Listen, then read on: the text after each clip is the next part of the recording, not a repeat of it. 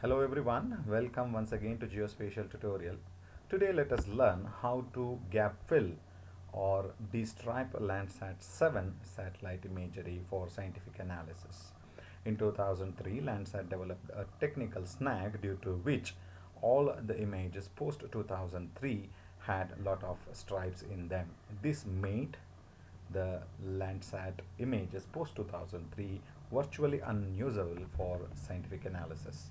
Today let us learn how to do these gap filling or destriping of these images so that we can use them for scientific analysis.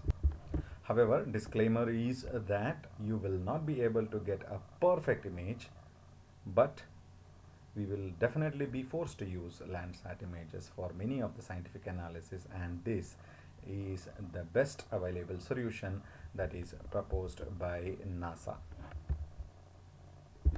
In another video in the same uh, channel, I have explained how to destripe satellite images, that is Landsat 7 images for uh, display purposes. However, you can use it for limited scientific analysis purpose, whereas primarily that method can be used for display purpose or here this particular method is for scientific analysis. However, this is a, a bit lengthy process as you will be destriping each and every band in the image and will be layer stacking these images at the later stages. In the other method where you will be using it for uh, display purposes you can layer stack all the images then you can carry out destriping please do watch this video completely so that you can select the images perfectly to fit your application. Since this is for a scientific analysis, unless you watch it completely, you might end up in selecting two images that may not fit your analysis perfectly. Let us open ERDAS Imagine and I have selected three images. Let me explain briefly the problem in the images. This is 2002 image. This is before the Landsat has developed any technical snag. You can see the image is very clear.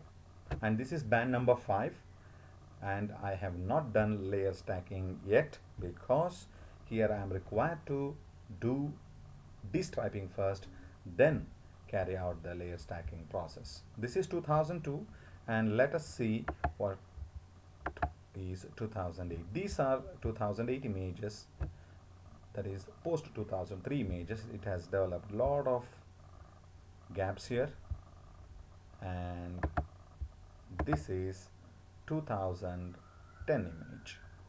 Here to carry out gap filling processes you will be needed two or more satellite images of the same area so that the data that is not available here that is in these gaps there is no data.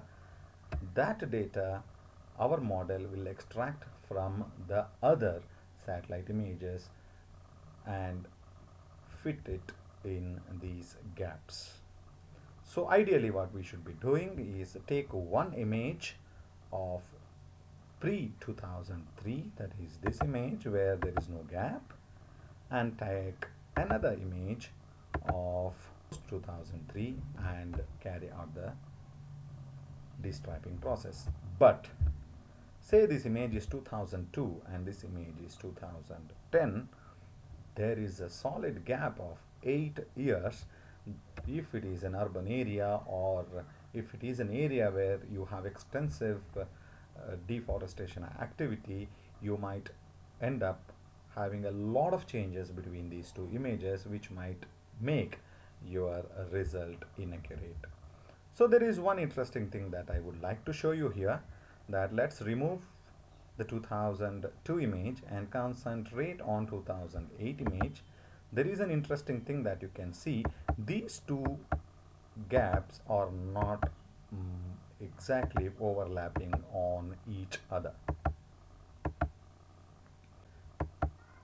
So the gap or the no data area in 2008 is not same as 2010 so no data area in 2008 are having data in 2010 and vice versa. So if you are gap filling 2008 image you can use 2010 image to fill these gaps and vice versa so that your image is current so how do we select the images first? Point number one select two dates which are approximately close so that your land use changes are not too much. And also try to select the images approximately of the same season. Like say if you are gap filling an image of rainy season try to select another image of the same rainy season so that the land use changes that occurs due to seasonal variations is also accounted for. But there is one more thing that you will be required to see is that say this 2008 image is having a lot of clouds. So this image might become very useless to fill the gaps because your 2008 image will end up having a lot of clouds in these gaps.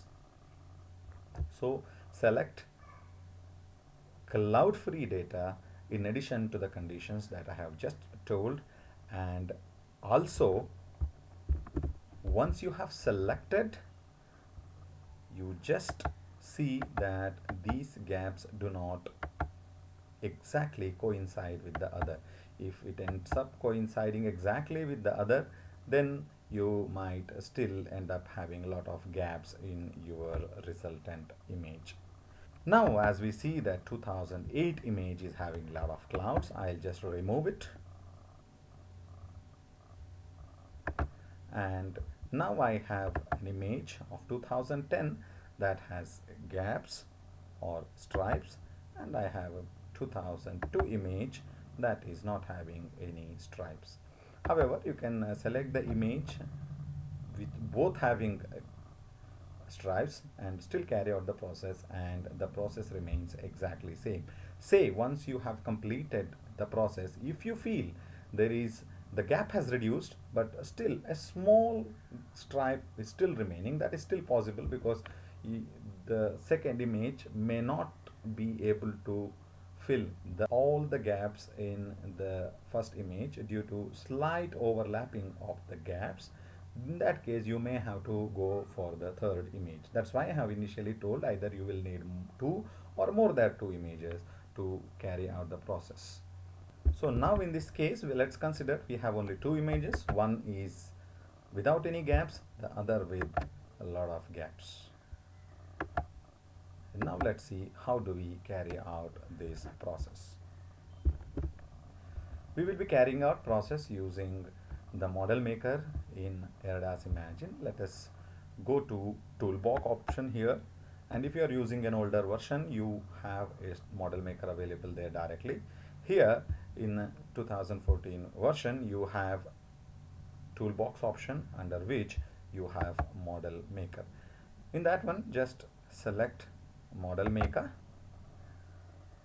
What we will be primarily doing is a mosaicing process which will extract data from one image and gap fill the other image. So this is your model and you can see this button. This is place a raster object in the model. So we will have two raster because one is 2010 and the other one is 2002 let's open 2002 image here just navigate to the place from where you have got this image. And this is uh, 2002 image. I have selected 2002 image. Accept all default values to be true and click OK. And let's go to the second image. The second image is 2010 image as you can see which you are interested to do gap filling. This is 2010 image. Have selected it and accepting all defaults and I'll click OK. Now you have loaded your two rasters. Let's see what this button is. Displays a function in the model. This plays as a function, which means if you are carrying out any arithmetic process, this button will be enabling you to carry out any process. So let's click it here and this has no connection. So let us take an arrow mark and connect these two images to this process. Now you have connected these two images to this process. Now is the most important thing. Just double click on this. Here you go. This is where you will be defining your destriping function. And it is very simple and logical step. Just apply your mind. You will be able to do it by yourself and make sure that you have selected the same band in both here I have selected both to be band number 5 now what I want to define is I want all the data in 2010 and wherever there is a gap I want a data from 2002 so how do I define that? I have to put either either 2010 in the bracket I will put if this is more than 0 and I will close the bracket. Now what I am telling is either I want this data if this data is not having zeros all zeros are represented as stripes in the image as you have seen. So I want the data from 2010 if it is not 0